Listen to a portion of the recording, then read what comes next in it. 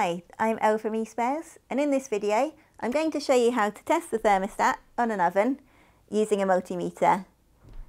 So if you find your oven isn't heating, this could be due to the thermostat, but it could also be due to the oven element or the selector switch, but in this video we'll be focusing on testing the thermostat.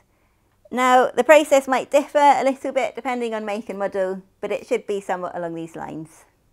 For this process, you'll need a flat blade screwdriver, a Phillips head screwdriver, a T20 Torx screwdriver, and of course, the multimeter. Not everyone is familiar with multimeters, so let's take a quick look at how they work. A multimeter is a testing tool, and it can be used to measure current, resistance, and voltage. And one of the uses of a multimeter is to test parts within appliances to see whether or not they're faulty. So before you start any work, it's important to disconnect the power from the appliance. So either switch off and unplug the machine, or if it's wired in, just flick the switch in the kitchen that powers the cooker, and also go to the fuse box and flick the switch there that powers the cooker as well to be extra safe. First up, you'll need to grab your Torx head screwdriver and just unscrew these two screws at the back here.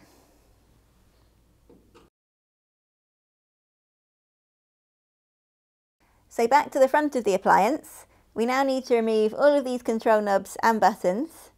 So to help you, if you grab your flat blade screwdriver and just use it to lever off each one.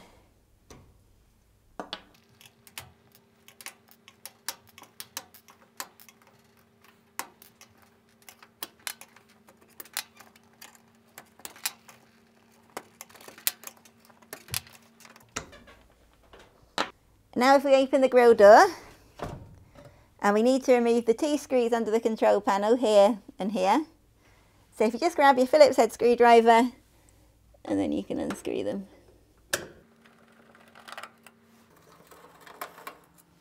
Now that those screws are removed, we can take off the control panel by just shifting it slightly across and lifting it away. Then we grab our Phillips screwdriver again and we just want to unscrew the screws at the top here.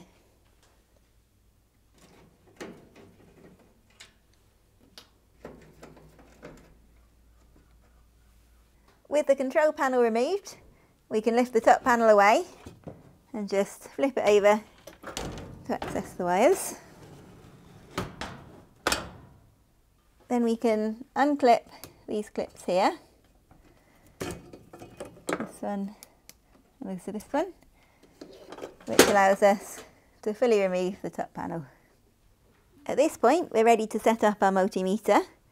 So grab your probes and just make sure the black one connects to black and red connects to red here.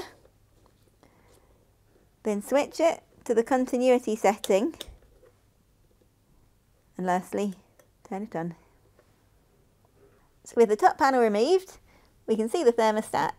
And what we want to do now is just remove the electrical connections here.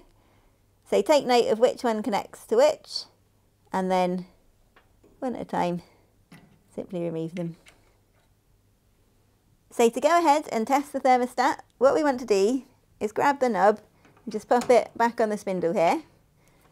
And it will be in the off position most likely, just make sure it is. And what we want to do is grab the T-probes and place them on these two terminals and there's no sound. So what should happen if we turn the knob to an on position, test again, and that beep means that the part is working correctly.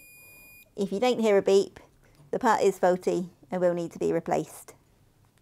So now that you've gone ahead and tested your thermostat, if you have found that it's faulty, have a look at our video up here which shows you how to replace the thermostat on an oven. Now you're ready to reassemble your machine. So first things first, grab the top panel again. Just gently lay it down so that we can reconnect these electrical connections. With these electrical connections connected, we can lift up the top panel and then just turn it over and then reposition it back.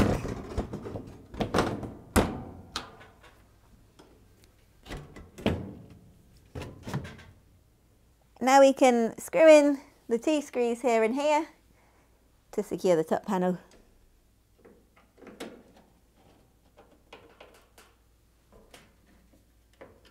Now you can reconnect the lamps.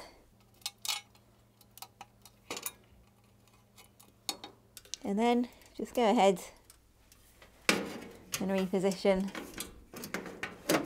the control panel.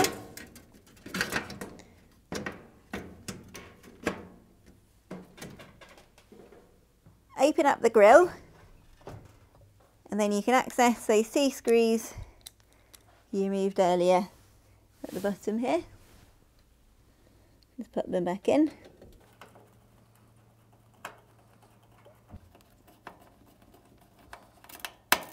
Now we can refit all of our knobs and buttons.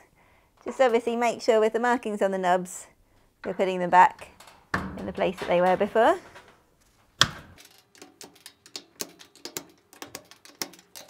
And then the buttons just be put back in as well.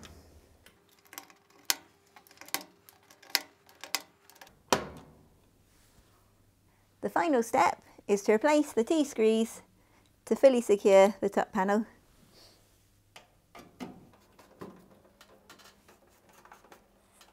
And there you have it, how to test the thermostat in your oven using a multimeter.